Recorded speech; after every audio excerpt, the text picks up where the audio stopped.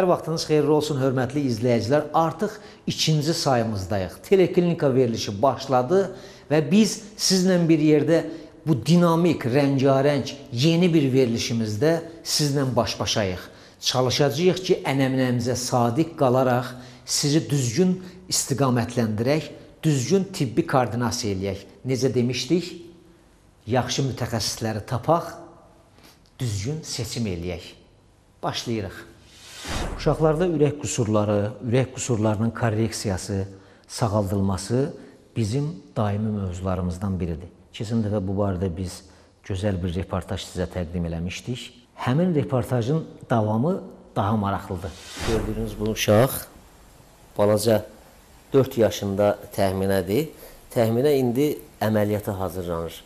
Hardasa 1 1 saatdan sonra o artıq ə, ə, əməliyyat olunacaq. Anadan gəlmə ürək qüsuru var tə, ə, təxminənin.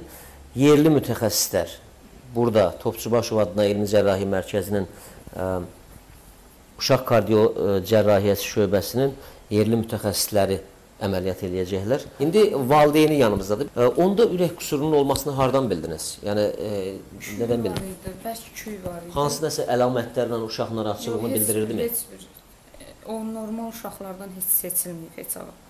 Bir, birdən istilik qalxdı, baxdıq ki, küy var. Ondan sonra bildik ki, ürək qüsuru. var. Gətirdik Elmar doktorun yanına çox sağ olsun. O indi dəhlizin axırına tərəf gedib qapıda gözləyən atası ilə görüşür.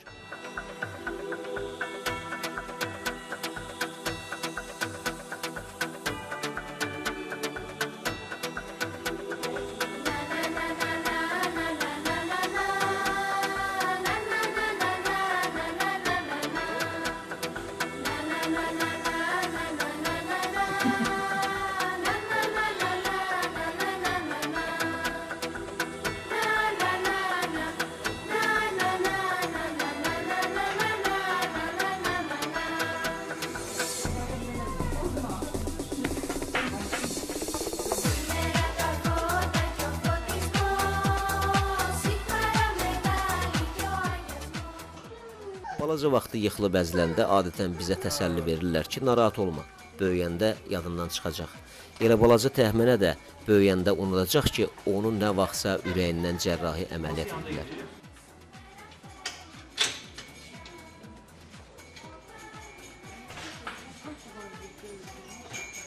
Valideyn gəlir ki, uşaq özünü yaxşı hiss eləyir, o uşaqlarla oynayır, hoppanır və s. və ilaxır.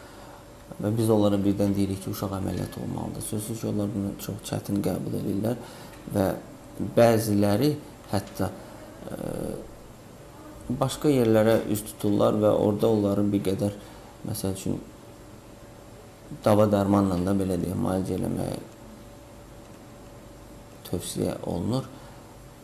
Amma mən sizə onu deyim ki, bu mümkün olacaq bir şey deyil. Yəni hər hansı bir dəliyi, hər hansı bir qüsuru, anadan gəlmə qüsuru dava dərmanla mümkün eləmək, yəni müalicə eləmək mümkün deyil.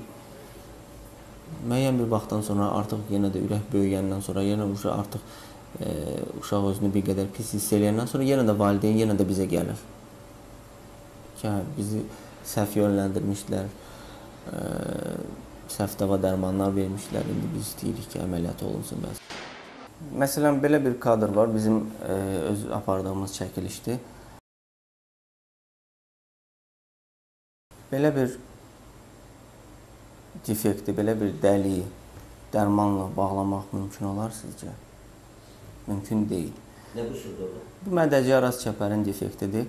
E, təxminən 4 millimlik dəlikdir və onu e, gördüyünüz kimi? Yamaqla da gördüyünüz kimi burada yamaqla o e, dəliyi yamayırıq. Anadan gəlmə ürək qüsurlarının yaranmasının ilkin səbəbi hazırlıqsız hamiləlikdir. Yəni qadınların hazırlıqsız hamiləliyə girməyidir. E, Bu bir. İkinci səbəbi e, qohumluq ə, əlaqələrdir. Hamiləlikdən qabaq qanlarını yoxlatdırsalar, bir skrininq eləsələr, müalicə özlərinə eləsələr, Qüsurların sayı qat-qat azalır, çox-çox azalır. Bizdə əfsuslar olsun ki, yalnız ə, qadın hamilə olduqdan sonra, yəni ə, hamiləlikdən bir ay keçdikdən sonra təxminən aşkar eləyir ki, hamilədir artıq. O da artıq gecdir. Yəni ürək üçün, uşaq, uşağın ürəyi üçün artıq gecdir.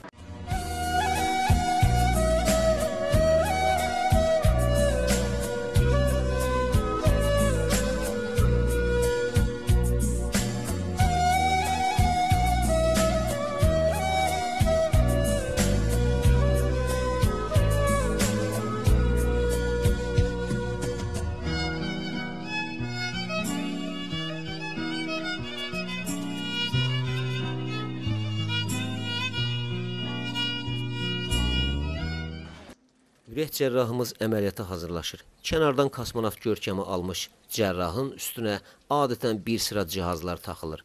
Bu cihazlar əməliyyat zamanı həkimin ən yaxın köməkçilərindən hesab olunur. Tac damarları və aorta o qədər kiçikdir ki, ona optik böyüdücü cihaz lazım gəlir. Biz artıq əməliyyatxanadayıq. Bayaq haqqında danışdığımız uşağın ə, ürək əməliyyatı gedir, başlayır. Bir qayda olaraq gördüyünüz kimi biz də sterilizasiya qaydalarına uyğun olaraq, xəstəxananın qaydalarına uyğun olaraq biz də belə ə, əməliyyatxana paltarındayıq. Əməliyyat artıq başlayıb.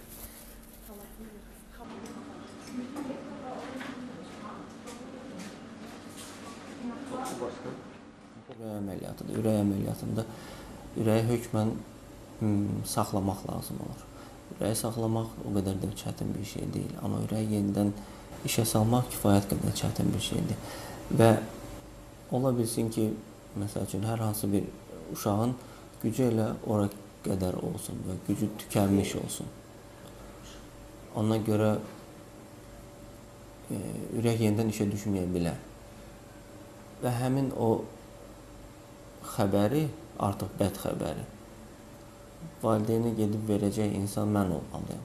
Amma yenə də çalışırıq. Artıq bir neçə ilə biz e, belə deyək də xalqın etimadını qazanmışıq. Bizə müraciətlərinin sayı həddindən artıq çoxdur. Onu da deyim ki, bizdə şöbəmiz balaca olmağına baxmayaraq, yəni 300-350 əməliyyat eləyirik, amma bu yəni bəlkə də bəzilərinə bu çox gələ bilər, amma bu çox deyil. Çünki Azərbaycanın uşaq ürək cərrahiyyəsində tələbatı il ərzində təxminən təxminən 1200-1300-dür. Biz eləyirik 300, 350. O deməkdir ki, yerdə qalan 700-800 uşaq keçir gələn ilə. Amma gələn il yenə də bir 1200-1300 onun üstünə gəlir. Deməli gələn il artıq 2000 olur.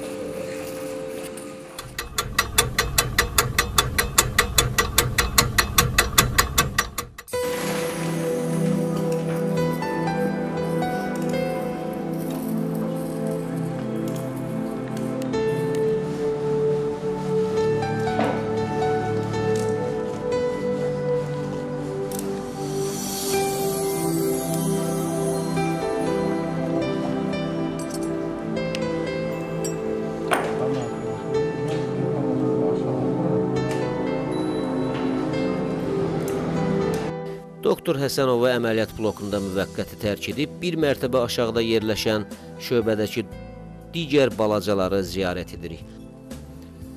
Uşaq ürək cərrahiyyəsi mərkəzinin exokardioqrafiya müayinəsi kabinetində 12 yaşlı Arzu Əliyevanın ürəyini müayinə edirlər. Uşaq həm də Down sindromludur. Bir sıra hallarda ağır diaqnozlu uşaqlardan valideynlər imtina edir. Lakin Ata-anası uşaqda ürək qüsurunun olduğunu öyrənəndə ümidlərini itirməyib bura gətiriblər. Ümidlərin doğrulduğu bu məkanda onu bir gün əvvəl əməliyyat ediblər. İndi exokardioqrafiya müayinəsi balaca Arzunun ürəyinin normal işlədiyini göstərir. Yeri gəlmişkən onu da vurğulayım ki, şöbənin exokardioqrafiya aparatı olduqca bahalıdır və dövlət hesabına alınmış bu aparat şəxsən Səhiyyə Nazirinin hədiyyəsidir. Şöbədə yatan uşaqların ziyarətindən sonra yenidən əməliyyat blokuna qayıdırıq. Budur. Artıq balaca təxminənin ürəyində aparılan 1 saatlıq cərrahi əməliyyat da uğurla başa çatıb. Anadan gəlmə çoxsaylı qulaqçıq arası çəpərin defektləri diaqnozu ilə bizə müraciət eləmişdi. Hə, və bu gün o uşağın radikal korreksiyasını, yəni qüsurun radikal korreksiyasını icra etdik. E, artıq bu uşaqda heç bir anadan gəlmə ürək qüsuru Ürək qüsuru tamamilə ümumiyyətlə belə nəinki anadan gəlmə, bütün ürək qüsurları anadan qaldırıldı belə. Bir gün reanimasiyada yatacaq. Bir gün reanimasiyada, bir gecə reanimasiyada qalır və sabah bəlli düşəcək artıq anasının yanına.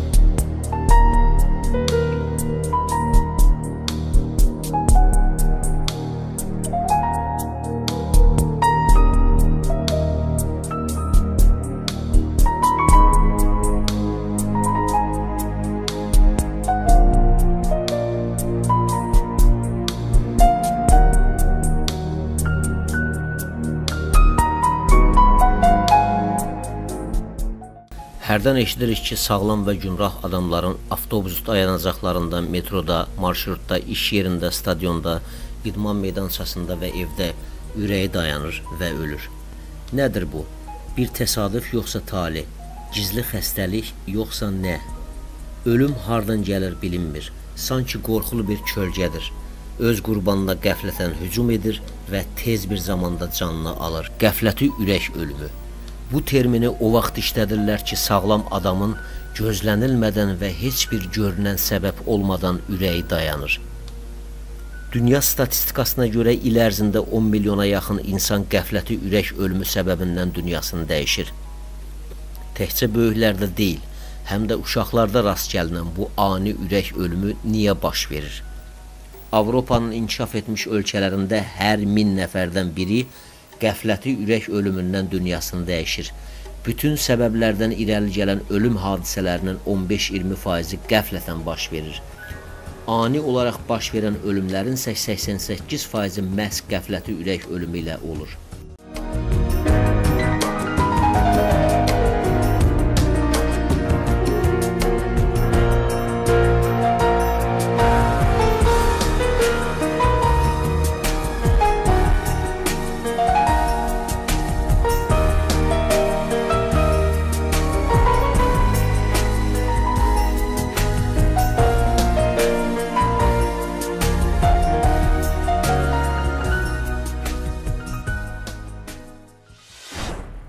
Problemləri və onların müalicəsi üsulları ilə bağlı hazırladığımız növbəti reportajımıza gəlin bir yerdə baxaq.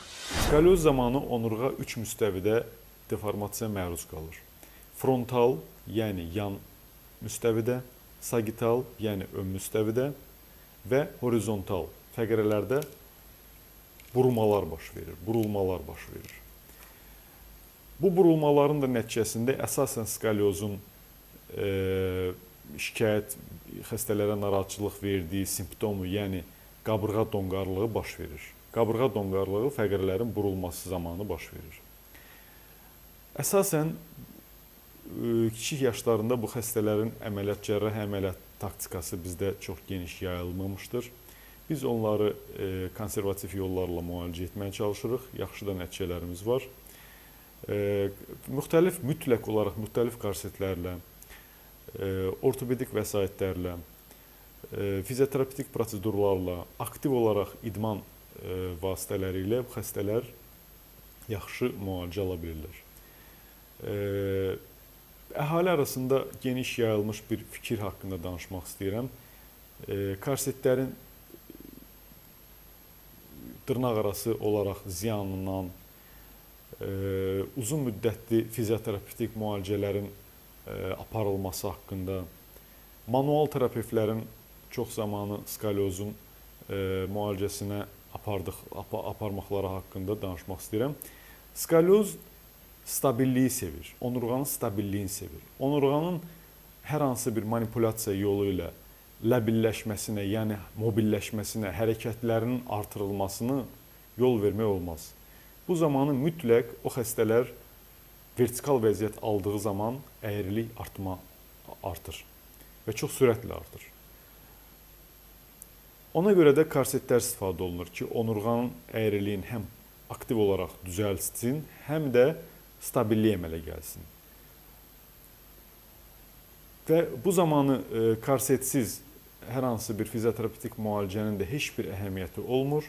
Sadəcə xəstələr artıq öz xəstəliklərindən yorulurlar, bezirlər və e, bu yolda çox vaxtı xarici dövlətlərə yol yol tuturlar. Türkiyədə bu əməliyyatı e, etdikləri zaman çox böyük qan itkisi olur. 2 litrə, 3 litrə qədər qan itkisi olur. Düzdür, onlar o qanı təzədən təmizləyib öz xəstənin öz bədəninə yeridirlər. Lakin bizim e, texnikamız biraz fərqli olduğu üçün biz e, 150-200 e, millilitr qan itkisinə e, itkisi baş verir. Bu da çox az olur. Çox vaxt e, demək olar ki, qan köçürməyə də ehtiyac olmur. E, əməliyyatın gedişatının vaxtı da məsəl üçün bizdə daha tez baş verir. Türkiyədə, başqa ölkələrdə bu əməliyyatlar əsasən 7 saat, 8 saata qədər davam etsə də bizdə ən maksimum 5 saat, yarım 6 saatdan çox olmayıb. Onurğada baş vermiş skalyoz zamanı xəstələrin əsasən müraciəti fərqli-fərqli yaşlarda olur. Kiçik yaşlarında da olur, böyük yaşlarda da olur. Kiçik yaşlarda onlar müraciət etdiyi zaman sözsüz ki 13-12 yaşdan kiçik olduğu zaman biz onları e, tam rahatçılıqla ürəyimizdən konservativ müalicə apara bilirik və aparırıq da. Lakin 3-cü dərəcəli skalyozda 13-14 yaşda müraciət etdiyi zaman biz onlara e, cərrahi əməliyyat təklif edirik. Bu zaman e, biz onlara cərrahi əməliyyat təklif edirik. Bu zaman onlar e, hər hansı bir əsasən e, bizim mentalitetimizə uyğun olan e, kiçik bir qorxu hissinə görə e, çoxsu əməliyyatdan imtina edirlər və e, öyrəndikləri zaman öyrəndikləri zaman ki, e, hər hansı demək müraciət etdikləri həkim e, uğurlu konservativ müalicə aparır, bu da onları daha ruhlandırır və konservativ müalicə dalınca gedirlər. Lakin inandırıram sizi ki, biz o xəstələri və yaxud başqa bir müraciət etdiyi müraciət edilən xəstənin 17-20 yaşında cərrahi əməliyyat etdiyimiz zaman o qədər böyük çətinliklərlə rastlaşırıq. Xəstə üçün də yüksək səviyyəli bir ideal onurğa almaq çətin olur. E, cərrah əməliyyat edən həkim üçün də o çox böyük çətinliklərlə e, baş verir. Ona görə də xəstələrə e, müraciət e, demək üzümüzü tuturuq deyirik ki, artıq e, həqiqətən də onurğa cərrahiyyəsi Azərbaycanda inkişaf eləyib. Bu əməliyyatlar çox rahat, e, çox az, demək olar ki, minimalizə səviyyəsində e, fəsadlarla uzlaşır, fəsadlar baş verir. Demək olar ki, başı vermir. Ona görə də daha tez olunan əməliyyat daha ideal onurğa əmələ gəlməsinə kömək eləyir, ortaya çıxmasına kömək eləyir və o xəstələr uzun illərlə karseta terapiyadan, uzun illərlə aparılan idman terapiyasından, e, fizioterapevtik müayinələrdə, müalicələrdən azad olurlar. Bu hal-hazırda bütün dünyada da belə tətbiq olunur və bizdə də istərdik ki, xəstələr tərəfindən bu çox da belə qorxunc, bir sıralar tərəfindən də aqressiv e, qəbul olunmasın. Deməli, hörmətli izləyicilər, sizə maraqlı bir əhvalat danışmaq istəyirəm. Günlərin bir günü yaxın tanışlarımdan biridir bu həkim. Danış, özü olmuş əhvalat kimi mənə danışdı. E, bu adam deməli e, işdəymiş. Rayondan bir xəstəsi zəng eləyib buna. Zəng eləyib deyib ki, həkim salam, kənddən zəng eləyirəm, sabahları sizin müayinəni sizin yanınıza müayinəyə gələcəm. Nə gətirim həkim? Həkim də deyib ki, Təbii ki, həkim elə bilib ki, bu yəqin bu kənd payını nəzərdə tutur və yaxud da payok deyirlər də, yəni kənd payı nəzərdə tutur. Həkim cavab verib ki, yox, çox sağ olun, zəhmət çəkməyin, minnətdaram, sağ olun, heç nə lazım deyil. Yox, ey həkim, rayondan gəlirik, kətdən gəlirik. Deyin də nə lazımdırsa biz gətirək. Həkim də cavab verib ki, yox, yox, minnətdaram, heç nə lazım deyil, təşəkkür edirəm, heç nə istəmirəm. Xəstə yenə də israr edir ki, həkim, biz rayondan gəlirik, o boyda yol gəlirik, ayıbdır, yaxşı deyil, qabaqçıdan o boy yenə də alınmır da. Biz kətdən gəlirik, nə lazımdırsa qabaqçıdan deyin, gətirim də. Həkim yenə də deyir ki, qardaş, çox təşəkkür edirəm. Ey, canınızı götürün, gəlin. Elə müayinəniz özünüzü götürsəz bəs, təşəkkür edirəm, lazım deyil. Xəstə də həkimə axırda cavab verir ki, həkim bəs sidikdən, nəcisdən heç nə gətirməyək. Deməli, uroloq həkimlərdən biri deyir ki, prostat vəzindən transuretral e, rezeksiyası turp olan bir xəstə nələr yeyə biləcəyi və nələr yeyə bilməyəcəyini soruşur. Dedim ki, acı turş yemək olmaz. Soruşdu ki, kotlet olar, dedim olar. Soruşdu ki, borş olar, dedim olar. E, dedim olar və s. Soruşdu ki, xəncəl olar, dedim olmaz. Cavab verdi ki, onsuz da xoşlamıram. Həkim, mən qrip olmuşam, mənə antibiotik yaz. Kömək eləməz. Həkim cavab verir ki, kömək eləməz. Ə, Bir dəfə atdım, yaxşı oldum. Ay xanım, qrip virusdur. Ə, antibiotik heç nə eləməz. Axı həm qrip olanda, amma axı hamı qrip olanda antibiotik atır. Düz eləmirlər, onlar düz eləmirlər. Bəlkə yazasan doktor. Buyur, yazıram, səhər axt, e, səhər axşam atarsan. Həkim, deyirlər antibiotik ziyanlıdır. Sən Allah başqa şeylərə ziyan eləməz. Milli Onkologiya Mərkəzinin onkoginekoloqu Könül Mərdanova ilə bir yerdə ə, əhalinin tibbi maarifləndirilməsi məqsədi ilə hazırladığımız reportajlarımızı davam elətdiririk. Növbəti videomuzda yenə də onkoginekologiya barəsində bəhs eləyəcəyik. Qadın cinsi orqanlarının xərçəngləri arasında ə, daha çox uşaqlıq boynu xərçəngi ə, rast gəlinir ə, və adətən uşaqlıq boynu xərçəngi 40-60 yaş arası qadınlarda rast gəlinir, lakin dövrümüzdə bu xəstəliyin cavanlaşması qeyd olunur. Ümumiyyətlə uşaqlıq boynu xərçənglərinin yaranmasında ə, son elmi tədqiqatlara əsasən insan papilloma virusunun ə, təsirinin olduğu ə, aşkar olunmuşdur ki, bu ilk dəfə ə, 1983-cü ildə Alman alimi ə, Harald Zurhausen tərəfindən Almaniyanın Onkoloji Elmi Mərkəzində aparılmış elmi işlər ə, nəticəsində təsdiq olunmuşdur ki, insan papilloma virusunun uşaqlıq boynu xərçənginin əmələ gəlməsinə birbaşa təsiri vardır. Ə, Ümumiyyətlə uşaqlıq boynu xərçəngi aşkar olunan xəstələrin 99,7%-də ə, human papilloma virusu aşkar edilmişdir. Human papilloma virusun ə, 120-dən artıq tipləri məlumdur, ə, lakin ə, bunların qadın cinsiyyət orqanlarına təsir edən ə, 30 tipi mövcuddur və bunlar özü də yüksək onkogen, yəni yüksək və aşağı riskli olmaqla iki yerə bölünür. Daha çox uşaqlıq boynu xərçənginin əmələ gəlməsinə təsir edən yüksək onkogenliyə məxsus ə, human papilloma virusun 16-cı və 18-ci tipləridir. Uşaqlıq boynu xərçəngini provokasiya edən əsas ə, faktorlara ə, erkən cinsi həyatın başlaması, bura ə, 16 yaşdan yəni kiçik xanımların erkən cinsi həyata başlaması aid edilir. Bundan başqa ə, erkən ə, hamiləliklər və erkən doğuşlar, abortların sayının çox olması, hormonal kontraseptivlərin uzun müddət qəbul olunması, uşaqlıq yolunun uzun müddət davam edən infeksion xəstəlikləri, həmçinin immun sisteminin zəifləməsi ə, və ə, cinsi partnyorların çoxluğu aiddir. Ə, Yəni bütün bu sadaladıqlarım uşaqlıq boynu xərçəngini provokasiya edən əsas faktorlardır. Verilişimizin informasiya dəstəyi sağlamxəbər.az informasiya portalı və doktorginekoloq.az informasiya portalıdır. Hörmətli izləyicilər, doktorginekoloq.az saytına izləməklə, internet vasitəsilə siz bu saytdan qadın dünyasına aid hər nə varsa bütün informasiyanı əldə edə bilərsiniz. Yəni ginekologiya, qadın dünyası, sağlamlıq, qadın sağlamlığı, hər şey, kosmetologiya, qlamur, e, qadınları maraqlandıran turizmdən tutmuş mətbəxə qədər hər şeyi doktorginekoloq.az saytından əldə edə bilərsiniz. Verilişimizin digər informasiya dəstəkçisi və təşkilati dəstəkçisi sağlamxəbər.az saytıdır. Sağlamxəbər.az saytı gündəlik xəbər portalıdır. Bu xəbər portalı vasitəsilə həm eksklüziv xəbərləri, sağlamlığı və psixologiyaya aid özəl eksklüziv xəbərləri, həm də gündəlik, dünyada və Azərbaycanda baş verən gündəlik xəbərləri izləyə bilərsiniz. Keçən dəfə yadınızdasa biz sizə e, Respublika Diaqnostika Mərkəzinin oftalmoloq cərrahı Xəlil Hüseynovun həyata keçirdiyi katarakta əməliyyatı barəsində bir reportaj təqdim eləmişdik. Bu dəfə də onun apardığı növbəti bir əməliyyat barəsində bir videomuz var. Amma bu videomuz kiçik yaşlı uşaqlar üzərində aparılan əməliyyatlar barəsindədir. Lakin bizim xəstəmizin adı Əhmədov Səbinədir. Səbinənin 5 yaşı var. Ümumiyyətlə birinci dəfə bizə müraciət eləmişdi 6 ay bundan öncə və Səbinənin ə, anası, yəni ki, bizə gələrək, yəni ki, birinci ə, şikayəti olmuşdu ki, yəni ki, bu xanımda çəpgözlük var.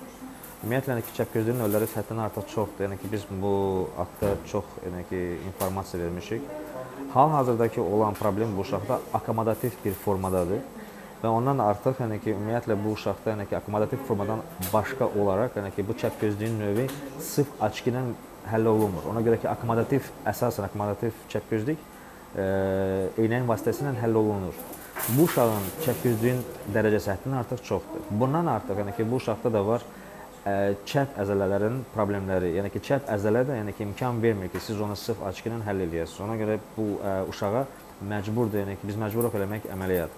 Ə, həm onun dərəcəsinə görə, həm onun çəp əzələsinə görə ə, və gələcək üçün bu uşaq yəni ki, məktəbə gedərək məktəbdən qabaq bunları mütləq lazımdır. Onların artaforiyasını eləmək, ona görə ki, bunlar düz gözlərlə və düz ə, inkişafla, yəni ki, gərək ə, məktəbə qəbul olunsunlar. Hal-hazırda yəni ki, siz görürsüz, yəni ki, biz bu uşağı indi ki, indiki ə, vəziyyətdə biz əməliyyat elə, eləyib, yəni ki, bu uşağa 4 dənə əzələyə əl vuracağıq, 2 dənə düz əzələ və 2 çəp əzələ ki, sabahsı gündə bu uşaq rahat, yəni ki, öz e, fəaliyyətini, öz həyatını inkişaf etdirsin. Ümumiyyətlə strabizmus əməliyyatıdır. Yəni ki, biz ona eləyəcəyik BMR, yəni ki, bilateral medical e, med, e, medial resection və anterizasiya, çəp əzələsinin anterizasiyasını. Səbəb yəni ki, sözsüz ki, yəni görüntüdədir birinci, yəni ki, uşağın gözü çəpdir. İkincisi onların refraktiv ə, problemlərlə əlaqəli olaraq, yəni ki, bu uşaqlarda ehtiyacı olur eynəkdə Yəni ki, sözsüz ki, yəni ki, bu ən iki ə, vacib olan bir məqamdır və üçüncü ki, bunlarda əmələ gəlir tənbəl göz, yəni ki, ambliopiya. Hansına ki, sonra bərpa eləmək, yəni ki, 7-8 yaşından sonra faktiki olaraq mümkün olmur. Praç olmaq, yəni ki, bilirsiniz necədir? Bu ə, çox ə, yanaşma çox fərqlidir. Yəni ki, yanaşa bilərsiniz 6 aydan da. Yəni ki, hansı yaşa istəyirsiniz? Yəni ki, bu baxır uşağın hansı növündə olan bir çəpgözlükdür. Bir var anadan gəlmə, yəni ki, congenital, Yəni ki, o 6 aya qədər olur. Bir var əmələ gələn ə, 6 aydan sonra. Ya və sözsüz ki, yəni ki, hər ikisi də yəni ki, öz problemləri törədir. Yəni ki, ona görə ki, bu uşağın görmə qabiliyyəti ümumiyyətlə yəni ki, həmişə olur zəif. Bəzilərdə, bəzilərdə olur çox gözəl. Onda bunlarda e, çəpgözlüyün növü, yəni ki, onlara imkan verir ki, bunlar hər iki gözdə o görsünlər çox gözəl. Ona baxmayaraq bunların binokulyar görməyə qabiliyyəti yoxdur. Binokulyar qabiliyyəti olmayaraq, yəni ki, sözsüz ki, yəni ki, siz bunların həyat fərdini yəni ki, azaldırsınız. Və sözsüz ki, yəni ki, bu vacib bir məqamdır. Siz onların gözlərini düz qoyaraq onlarda binokulyar e, görmə əməliyyat e, qabiliyyəti əmələ gəlir. Yəni sonra gələcəkdə 3D stereoskopik görmə qabiliyyəti əmələ gəlir və sözsüz ki, bunların yəni ki, həyat fərdi yəni ki, çox yaxşı olur.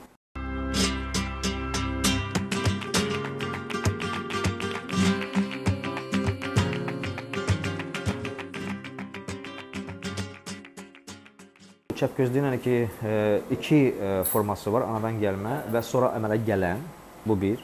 Və onun səbəbləri çoxdur. Refraktiv, travmatik, yəni e, ner, ə, neuroleptik, yəni ki, bu uşaqdan ki, neuroloji xəstəliklərin əmələ gələndir. Yəni ki, səbəblər çoxdur. Prosta səbəbi taparaq və sonra onun ə, problemini həll etmək yəni ki, çox vacib olur. Hal-hazırdakı uşaqda yəni ki, problem yəni ki, refraktiv cərrahiyyə ilə, refraktiv problemi ilə əlaqəlidir və ondan artıq yəni ki, bunun mexaniki problemlə əlaqəlidir. Ona görə ki, bu çəp e, əzələlər biri o birisindən üstündür. Yəni ki, e, alt çəp əzələsi üst çəp əzələsindən daha güclüdür. Ona görə çəkəndə gözü göz qalxır yuxarı. Yəni ki, siz bunu heç cürə düzəldə bilməzsiniz. Ancaq gərək siz əməliyyat eləyəsiniz ki, bu e, yəni ki, balansı düzəldəsiniz. Həmən bu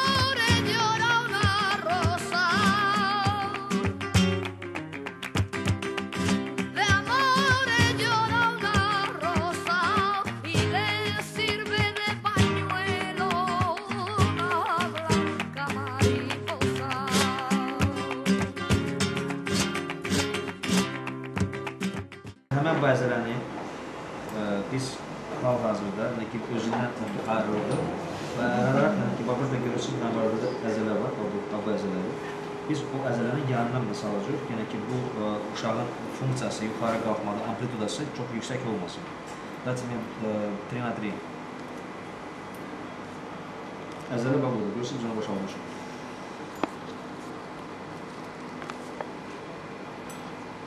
Открой двойную, пожалуйста, нет? Okay. Üçü çeviririz biz o zaman.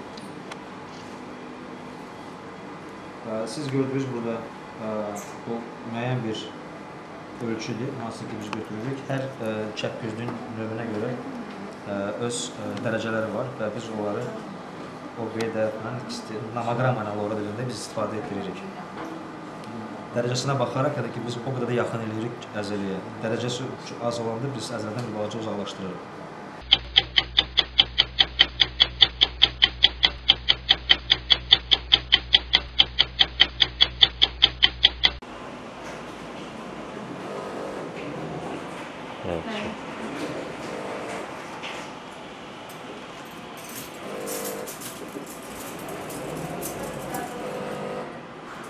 Bilirsiniz, bu ümumiyyətlə bu sosial bir problemdir. Yəni ki, uşaqlara sözsüz ki, yəni ki, yaxşı olardı ki, yəni ki, bizim ə, məktəblərimizdə yaxud da ki, əvvəl öncə bağça gedilərsə, bağçada yəni ki, bu ə, skrininqi eləmək vacibdir. Ona görə ki, bu uşaqlar gəlirlər çox gec bəzi vaxt və bunlarda əmələ gəlirlər, yəni ki, ambuliyatri, yəni ki, dərin görməyə qabiliyyəti, yəni ki, onlarda olmur. Yəni ki, bu tənbəl göz deyirlər ona.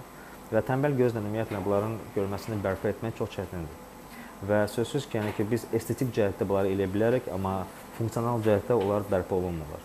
Bu cəhətdən sözsüz ki, ki, bizim problemlərimiz, yəni ki, bu sosial problemlərimiz, yəni həddindən çox böyük olaraq məsləhət olardı ki, bağçada yaxud da ki, məktəblərdə böyük bir skrininq aparsınlar ki, bu uşaqları əvvəldən bizə göndərsinlər ki, həkimlərə göndərsinlər ki, biz bunların məsələsini həll edə bilək. Qadınlar nə istəyir, onları xoşbəxt eləyən nədir? Gəlin biraz bu məsələyə də diqqət çəkək. Əslində qadınların nə istədiyini biz o qədər də yaxşı bilmədiyimizə görə səhvlərə yol veririk. Gəlin əslində qadınlar nə istəyirsə, ona diqqət çəkək. Qadınlar anlayış istəyər. Misal üçün, deyək ki, günlərin bir günü siz axşam evə gəlmisiniz, yoldaşınız deyir ki, başım ağrıyır. Siz nə edirsiniz? Dərhal ona deyirsiniz ki, başın ağrıyır, gəl gedək həkimə. Başın ağrıyır, al burada dərman var, dərman iç. Və yaxud da uzan yat dincəl. Qadın birbaşa dərman istəmir. Qadın anlayış göstərməsini istəyir. Ola bilsin ki, bilirsiniz necədir? Siz başqa bir söz deməli idiniz. Ona anlayış göstərmək dedikdə mən onu nəzərdə tuturam ki, məsəl üçün dərman təklif eləmək əvəzinə biz kişilər təbii ki, başa düşürəm. Yəni biz kişilərin beynində hər şey məntiqlidir. Hər şey müəyyən qədər bir ə, hər şeyin çarəsi var. Bu problem varsa bunun çıxış yolu da bundan ibarətdir. Amma duyğuları bəzən unuduruq. Əslində bəlkə də qadın bu başım ağrıyır deməklə gün ərzində başına gələnləri anlatmaq istəyir. Dərman paketi təklif eləməkdənsə canın nəyə sıxılıb, kim xətrinə dəyib, canını acıtan nədir, necə kömək eləyə bilərəm sənə? Bu kimi sözlərdən istifadə eləsəz daha yaxşı olar. Əsas məsələ anlayış göstərmək. Qadınlar nə istəyir? İkinci məsələ həddindən artıq qayğıkeşlik etmək. Həddindən artıq qayğıkeşlik etmək qadınları bezdirir. Biz kişilər centlmenlik eləyirik. Gündə nələrsə hədiyyələr alırıq. Bəzi elə kişilər var ki, gündə hədiyyə alır, gündə qadın üçün, həyatındakı qadın üçün bir şeylər eləmək istəyir. Onun üçün qayğıkeşlik eləyir, həddindən artıq qayğıkeşlik eləyir, xidmətlər göstərir, onun qayğısına qalır və bu da qadını bezdirir. Halbuki kişi fikirləşir ki, mən buna lazım olan hər şeyi eləyirəm, mən bunun qayğısına qalıram, nə istəyir onu alıram, nə istəyir onu verirəm. Bunun müqabilində gözlədiyim axı bu deyil. Bu niyə görə belə bezməlidir? Bilməlisiniz ki, balansı qorumaq lazımdır. Təbii ki, qayğısına qalın, amma bezdirici şəkildə qayğısı, qayğıkeşlik göstərməyin. Qadınların öz həyatlarındakı kişilərdən gözlədikləri digər bir məsələ də güvən məsələsidir. Yəni siz o həyatınızda olan sevgiliniz olsun, həyat yoldaşınız olsun, fərq etməz, həyatınızdakı qadına güvən verməyi bacarmalısınız. Yəni o qadın onu hiss eləməlidir ki, siz onun üçün güvənli və etibarlı bir insansınız. Bir də digər bir məsələ qadınlar sədaqət istəyər. Onlara qarşı sadiqlik olmaq lazımdır. Bu qadınları xoşbəxt eləyir. Qadınlar nə istəyir sualına cavab verərkən bir məsələni deyim sizə. Qadınlar öz həyatında olan kişi üçün xüsusi biri olduğunu hiss eləmək istəyir. Yəni o hiss eləməlidir ki, siz ona qarşı onun doğması və yaxud da əzizisiniz. Yəni xüsusi bir adamsınız. Özünə məxsus bir adamsınız. Xüsusi bir o qadının sizin üçün xüsusi olduğunu ona hiss elətdirin. Bu qadını xoşbəxt eləyir. Növbəti reportajımız e, estetik cərrahın təqdimatında maraqlı bir mövzudan olacaq. Qadın plastik cərraha müraciət edir və deyir ki, həkim mən istəyirəm məni elə əməliyyat eləyəsiniz ki, mənim gözlərim iri və mənalı olsun. Plastik cərrah da cavab verir ki, xanım narahat olmayın, mən indi sizə qiyməti deyəcəm sizin gözləriniz iri və mənalı olacaq. İndi bütün dünyada olduğu kimi Azərbaycanda da estetik plastik cərrahlara müraciətlərin səbəbi arasında süd vəzlərinin böyüdülməsi və ya ümumiyyətlə daha estetik formaya salınması xüsusi yer tutur. Kimisi öz sinəsindən məmnun deyil, kimisi də onkoloji xəstəlik nəticəsində süd vəzisindən məhrum olduğu üçün plastik cərraha üz tutur. Ancaq həkimə suallar çoxdur. Bu sualların görəsən cavabı varmı? Estetik cərrah Dilqən Məhərrəmov hesab edir ki, qadınların öz sinəsindən məmnun olması üçün plastik cərrahların bacarmadığı heç nə yoxdur. O ilk növbədə istifadə etdikləri implantlar barədə danışdı. E, bu gün plastik cərrahi əməliyyatlar içərisində e, yəni bədən formasının dəyişdirilməsi əməliyyat qrupları içərisində özünə məxsus yer tutan əməliyyatlardan biri süd vəzinin şəkilləndirilməsi əməliyyatlar qrupudur. Mən bu gün sizə informasiya vermək istərdim süd vəzinin böyüdülməsi. Bu əməliyyatlara hansı hallarda müraciət olunur? Bu əməliyyatlar zamanı nələr qiymətləndirilməli? Bu əməliyyatlar zamanı xəstələri düşündürən digər vacib nüansları sizin diqqətinizə çatdırmağa çalışacağam. Süd vəzinin e, böyüdülməsi əməliyyatlarına göstərişlər hansılardır? Birinci, anadan gəlmə mikromastiya iki tərəfli, anadan gəlmə asimmetrik mikromastiya, doğuşdan sonrakı hipomastiya var, doğuşdan sonrakı hipomastiya fonunda olan sallanmalar. E, əməliyyata hazırlıq öncə mütləqə süd vəzlərinin bir ultrasonoqrafik müayinəsindən başlamalıdır. Yəni süd vəzləri e, hal-hazırda fizioloji və funksional olaraq hansı vəziyyətdədir? Orada hər hansı bir patologiyanın olub-olmadığı aşkarlanmalı və digər əməliyyata xarakterik digər müayinələr bu müayinədən sonra aparılmalıdır. Bu əməliyyatlar zamanı bu əməliyyatlar zamanı istifadə olunan implantlar hansılardır və sadaladığım keyfi hansı keyfiyyətləri özündə daşıyır? Son model implantlarımız özündən öncə olan implantlardan fərqlənən və daha çox bizim və digər e, müraciət edən insanların daha çox bəyəndiyi xüsusiyyətlərdən danışmaq istərdim. Bu implantlar üzəri xüsusi təbəqə ilə örtülmüş, içərisində kogeziv jellər olan implantlardır. Bunun üstün cəhətləri bu implantlar yaddaşlı implantlardır. Yəni fiziki təsirlərin olmağına baxmayaraq, hər hansı formada onun ölçüsünün dəyişdirilməyinə baxmayaraq, bu fiziki toxunuşlardan sonra implant öz normal anatomik vəziyyətinə qayıtmış olur. Bu implantların istifadə müddəti ömürlükdür. Xəstələrimizi düşündürən əsas suallardan biri qoyulmuş implantların hər hansı süd vəzi xəstəliyi yarada bilib-bilməməsidir. Ən çox gün e, müraciət olunan suallardan biri budur. İmplanta xarakterik hansı dəyişikliklər əmələ gələ bilər? Ona məxsus hansı problemlərlə xəstələr, həkimlər qarşılaşa bilər? Bu haqqda da sizə etaplı e, məlumat verəcəyəm. Əməliyyata e, göstəriş şərtləri olduğu kimi əməliyyatımıza əks göstəriş olan vəziyyətlər də vardır. Əməliyyata əks göstəriş olan vəziyyətlər hansılardır? Daha çox nələrə fikir vermək lazım? Bayaq qeyd etdiyim kimi birinci müayinəmiz süd vəzlərinin fizioloji vəziyyətinin nə sağlamlığının, nə dərəcədə olmağından bəhs etmişdim.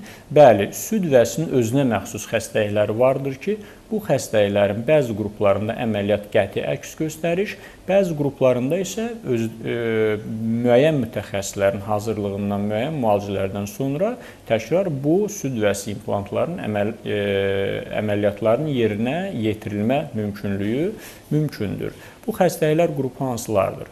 Süd vəzinin müxtəlif böyük ölçülü, diametri 1 sm-dən çox olan çoxsaylı kistaları, buna biz kistoz mastopatiyalar deyirik. Bu fonda olan kistoz fibroz mastopatiyalar, süd vəzinin irinli xəstəlikləri, mastitlər, süd vəzinin törəmələri, yəni konkret burada söhbət birbaşa süd vəzinin bədxassəli törəmələrindən gedər. Bunlar implant əməliyyatlarına mütləq və ilkin olaraq mütləq və nisbi əks göstərişlərdir. Ancaq sadaladığım bütün hallarda olan xəstəliklərin ilkin müalicə mərhələlərindən sonra süd vəzinin şəkilləndirilməsi əməliyyatı yerinə yetirilə bilər. Biz söhbətimizi quraq daha çox estetik baxımdan aparılan süd vəzi böyüdülmə əməliyyatlarına. Çünki misal olaraq mən bir fikir ayrılığı əmələ gəlməmək üçün sizə bir misal gətirmək istəyirəm. Bu gün bizim insanlar arasında uzun yüz illər boyu süd vəzisinin bir xərçənginə görə süd vəzisinin tamamilə kəsilib götürülməsi əməliyyatı haqqında hər bir insanda müəyyən qədər də olsa bir məlumat vardır. Ancaq e, estetik rekonstruktiv mama cərrahiyyəsinin son nailiyyətlərinə görə əksinə bu implantların tətbiqi ilə süd vəzinin e, tamamilə kəsilib atılması ilə yanaşı onun şəkilləndirilməsi, yəni yenidən bərpa olması etaplı cərrahi əməliyyatla e, bu implantların tətbiqi ilə süd vəzini formada saxlama imkanları vermişdir bizə rekonstruktiv mama cərrahiyyəsi.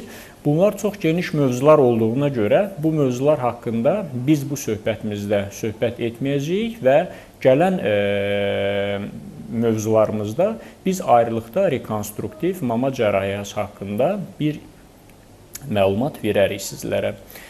İndi isə dayanaq daha çox estetik süd vəzinin böyüdülməsi əməliyyatına. Buna biz ə, augmentasyon mamoplastika əməliyyat qrupu kimi baxırıq. Bu əməliyyatlarda öncədən dediyimiz xəstələri düşündürən ə, məsələlərdən bəzilərinə mən açıqlama gətirdim və bəzilərinə də açıqlama gətirmək istərdim. Əməliyyat zamanı xəstələri düşündürən əsas nüanslardan biri süd vəzisinin əməliyyatdan sonra hansı ölçüdə olmağı, e, süd vəzisinin forması hansı formada olacaqdır. Bu kimi suallar həmişə xəstələri düşündürər və həkimdən çalışarlar əməliyyat önü dəqiq məlumatlar almaq. Bu əməliyyatlardan öncə sadaladığımız bütün müayinələrin nəticələri bizi qane edərsə və əməliyyat planlayarsa, növbəti hazırlığımız implant e, qoyulacaq implantın ölçü və formasının seçilməsidir. Dilqəm doktor mənim şəxsən tanıdığım Azərbaycanın ən güclü estetik cərrahlarından biridir. Ən yaxşı savadlı, samballı estetik cərrahlarından biridir. Dilqəm doktorun yanına insanlar məhz ona görə müraciət edirlər ki, burada həm sərfəllik var, həm də keyfiyyət. Hal-hazırda Həyat klinikasındayıq biz. Burada Həyat klinikasının rəhbərliyi tərəfindən e, yeni dərs ilindən etibarən məktəblilər üçün School Check-up proqramı həyata keçirilməkdədir. İctimaiyyətin marağını nəzərə alaraq biz hal-hazırda buradan reportaj hazırlamağa gəlmişik. Klinikada gəzintimiz əslində reportaj hazırlamaqdan daha çox bir növ ekskursiya oldu komfortlu şəraitdə müalicəvi xidmətin təşkil olunduğu bir məkanın görüntülərini canlandırmaq qərarına gəldik. School Check-up proqramına aşağıdakılar daxildir. Pediatrın konsultasiyası, laborator müayinələr, qanın ümumi analizi, sidiyin ümumi analizi, nəcisin ümumi analizi qurda görə, CRP, G reaktiv protein, liambliya C, askardiya C. Ümumi qiymət 59 manat təşkil edir. Klinikada 20-yə yaxın növdə check-up mövcuddur. Klinikada tam avtomatlaşdırılmış laboratoriya mövcuddur. Həyat klinikdə indi təbabətdə ən çox tələb olunan vacib analizlərə 50% endirim həyata keçirilir. Aksiya növbəti bir ay ərzində də keçiriləcək. Həyat klinik qoruyucu tibb üzərində qurulub. Fəaliyyətinin əsas istiqaməti diaqnostika və reabilitasiyadır. Bu klinikada orijinal fizioterapiya aparatları daha effektivliyi və unikallığı ilə seçilir. İndi duş şarko seansını 10 seans qəbul edənlərə endirimli qiymət cəmi 190 manat təşkil edir.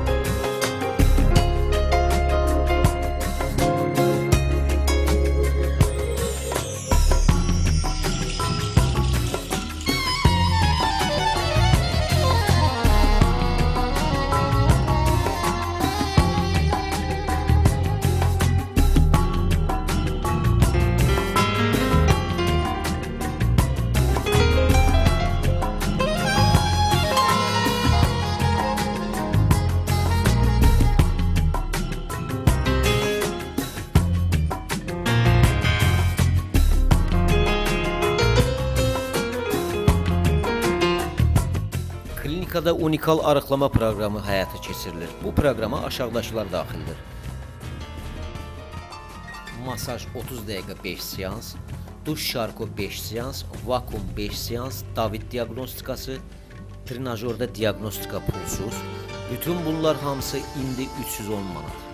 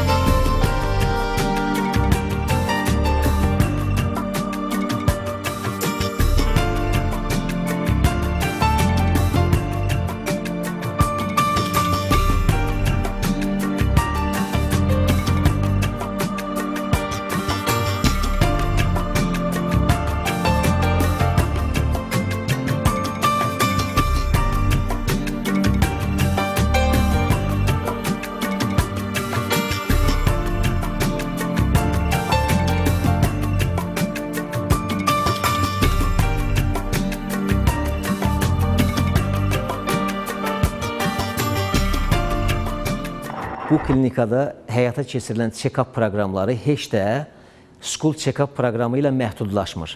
Bizə məlumat verdilər ki, ümumilikdə ümumilikdə həyat klinikasında 20-yə yaxın müxtəlif yönlü check-up proqramları həyata keçirilir hal-hazırda.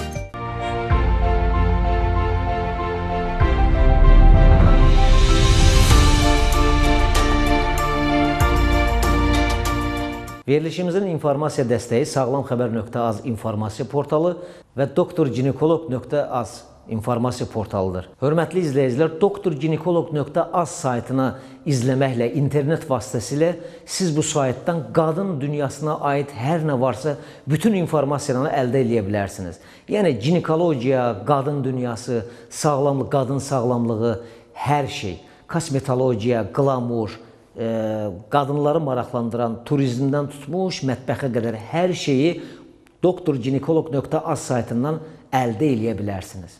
Verilişimizin digər informasiya dəstəkçisi və təşkilati dəstəkçisi sağlamxəbər.az saytıdır. Sağlamxəbər.az saytı gündəlik xəbər portalıdır. Bu xəbər portalı vasitəsilə həm eksklüziv xəbərləri, sağlamlığı və psixologiyaya aid özəl eksklüziv xəbərləri, həm də gündəlik, dünyada və Azərbaycanda baş verən gündəlik xəbərləri izləyə bilərsiniz. Beləliklə yeni bir verilişimizin sonuna yaxınlaşdıq. Hər birinizə sağlam, fiziki və ruh sağlamlığı arzulayıram. Bədən və ruh sağlamlığı olan bir insan əsl sağlamlığa nail olur. Minnətdaram bizə dinlədiyinizə və bizə qulaq asdığınıza görə təşəkkür edirəm. Mən sizin üçün darıxacam.